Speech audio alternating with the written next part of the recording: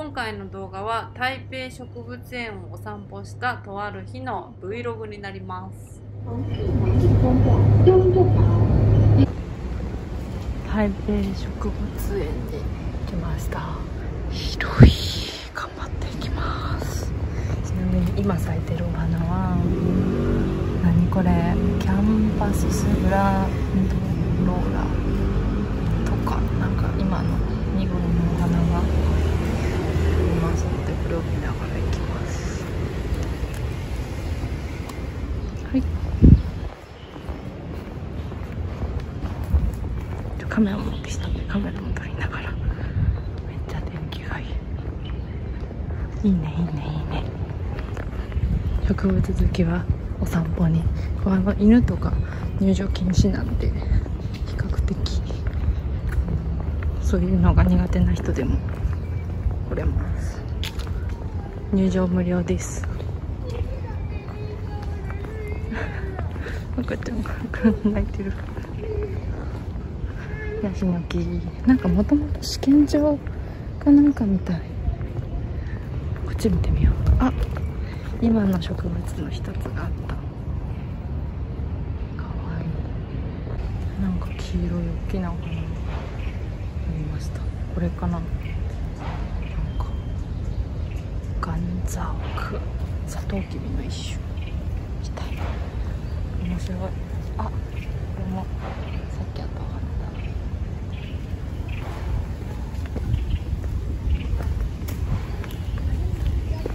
なんか池が見えた。あ水面がすごい。すごい。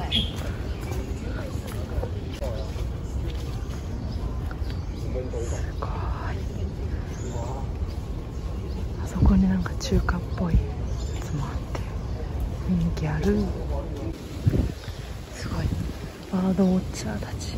鳥カメラマンたちが鳥を狙ってますも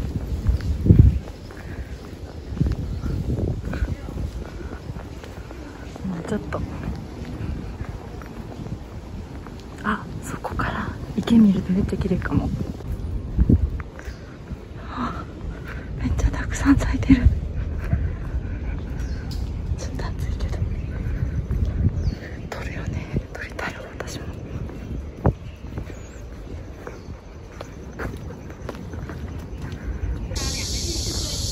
ロータスだ。ベトナムのあ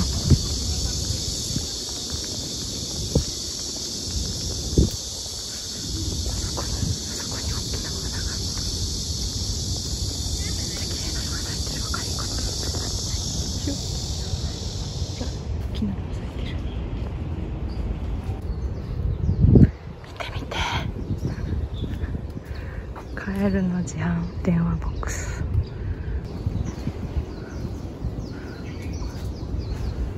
いい天気わあすごい綺麗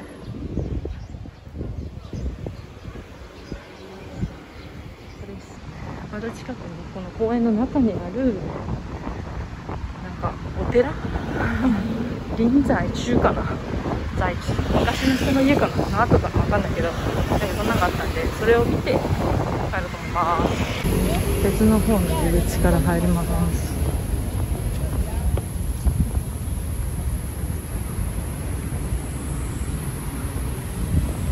こっちもこっちで綺麗。この中を斜め左に行けばいいはず。ハーバー館だって。このハーバー館っていうとこが近く。こっちやな。民族植物園あなでしこが咲いてるすごっ。こっちかな。もう迷うここ広すぎて。広い天気もいい暑い日本人の石碑発見理学博士。相田さん？相田文蔵さん明治時代の人みたい。あ日本語だ。植物研究した人ね。植物園だから。へえそうかな。っていうところに来ました。なんか日本時代の千葉標本林業の調査をするところ。を2017年にできたらしいです面白い。こんな感じです。これ当時の葉っぱ。標本？あまあコピーやろうけどすごい。綺麗。2階に上がってきました。標本の。あ実験道具とか。C 家かなんだって。C は日本語読みらしいです。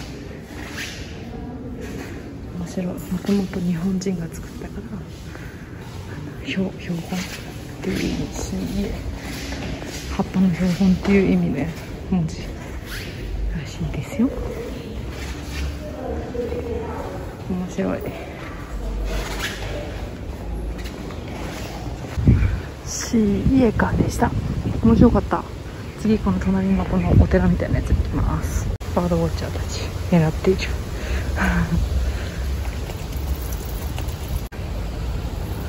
すごいお寺。古そう。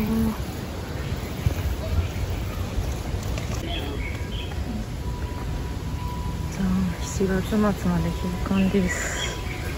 多分コロナの影響でここはまだ開放されてません。はい。さてちょっとお腹が空いたんで帰ろうかな。十二支植物園だって名前うんこれネズミやけどネズミがついてる植物。こ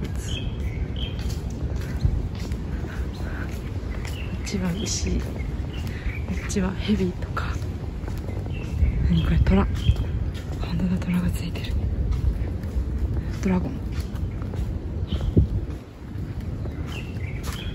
っちは？ドラゴンだ。ドラゴン結構いっぱいある。これは馬。猿。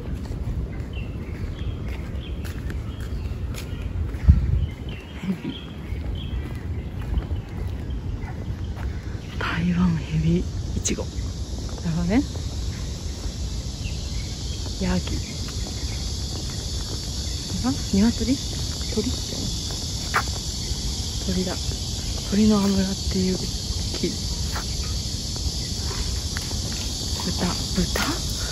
本当だ。ズージャオナン豚の足っていう名前。犬。犬。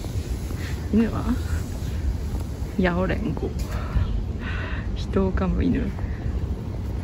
台湾語声は菊のなんかかな。え面白いえうさぎと？うさぎ。うさぎ見つけられなかった。地図上ではこっち側は多肉植物エリアらしい。いる？多肉植物。この向こう側かな。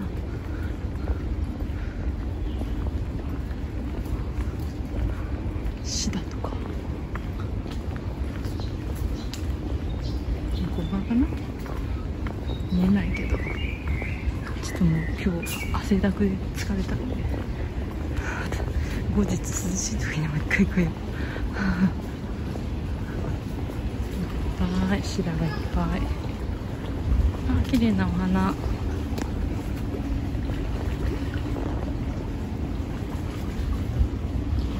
余裕を。余裕ってわかります？余裕って癒されるみたいな感じ？です。でした。あいた。あったちょっと多肉植物見てから帰ろう。ここだ。めっちゃ多肉。わあすごい。サボテン。サボテンがいっぱいです。うわイガイガしてる。痛そうや。すすごい不思議なの見つけた。じゃん何これ。なんかパイナップルみたいなのが気になってる。でもパイナップルは地上になるやつやから木の上にはならないはず。すごっ。面白い。はい以上でしたかな。お腹空きました。カフェで休憩します。寺寺の向こう側らしいけど行け行っていいのか分かんない。なんか寺。フーテルコン？久しぶりに新面来ましたもう旅行者がいないので基本台湾人しかいませんでも人がすごいたくさんいるお腹が空いたのでお昼をここで食べて買います。ネギ豚骨ラーメンにしました他のとこも行こうと思ったんですけど人がいっぱいでなんかちょっと入る雰囲気が入りにくかったんで普通にドローカル